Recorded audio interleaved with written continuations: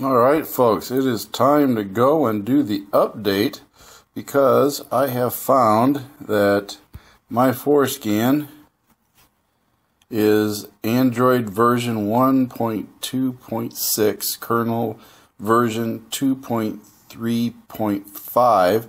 So we're going to go ahead and update to the newer version. So we're going to close that out and jump into the Play Store, which I already have it.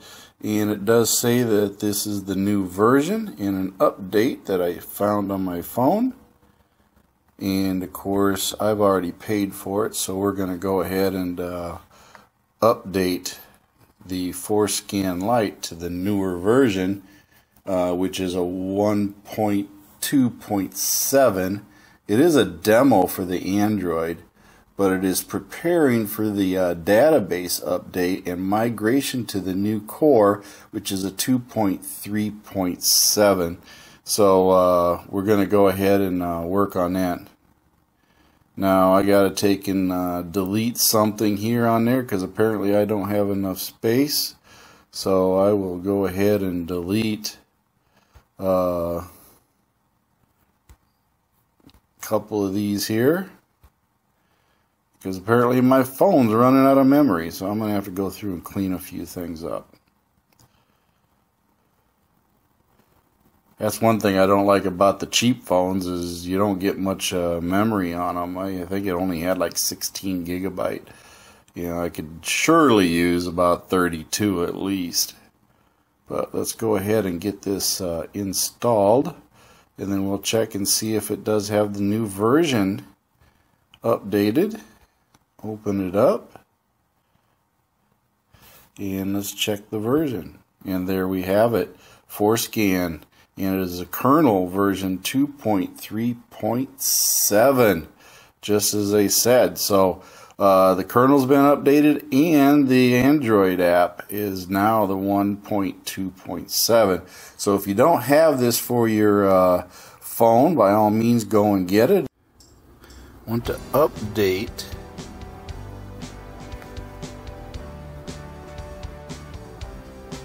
firmware on my OBDLinks MX and this is the program that I got to use in order to do it. And apparently we got to go to connect first. There we go. I'll do the connecting to it.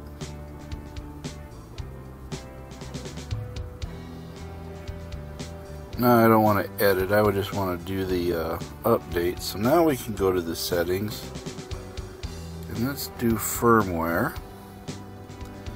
Now I'm version 4.0.2. It says this device is up to date. So let's check for updates. So we're going to check for updates. And now I have 4.2.3 so I download the firmware. That was quick. And we update the firmware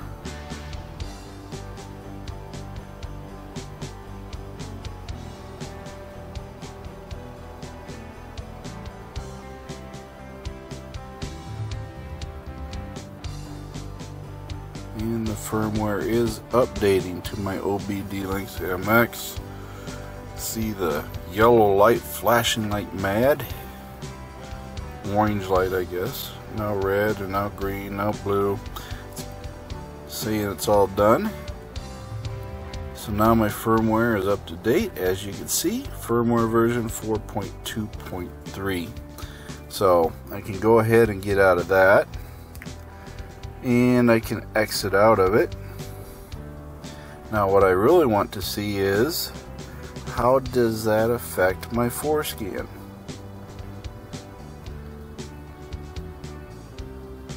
We're going to see if we can't get connected here.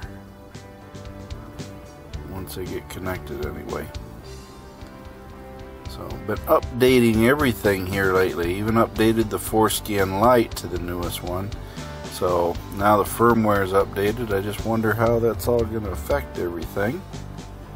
and as you can see I have nothing so I have to add PIDs again so I'll just go ahead and add my PIDs always battery voltage cat temps cylinder head temperature engine coolant temperature. EQ rat 1 EQ rat 2 fan speed desired. Run that one. Don't run that.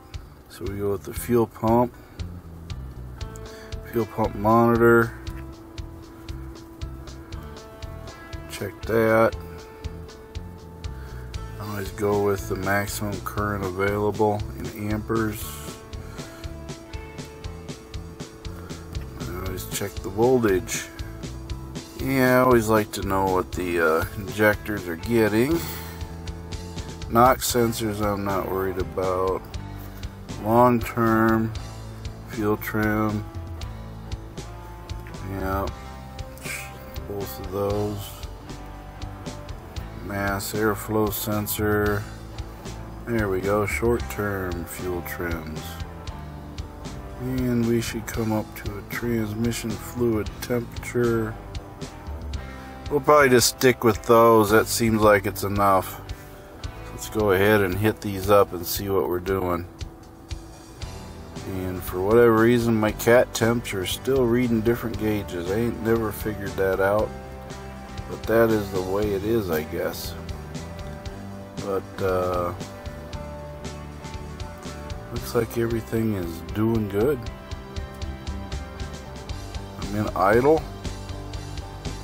Let's see. Short-term fuel trims, transmission fluid. MAF is doing good. Long-term fuel trims. Looks like we're in good money right now.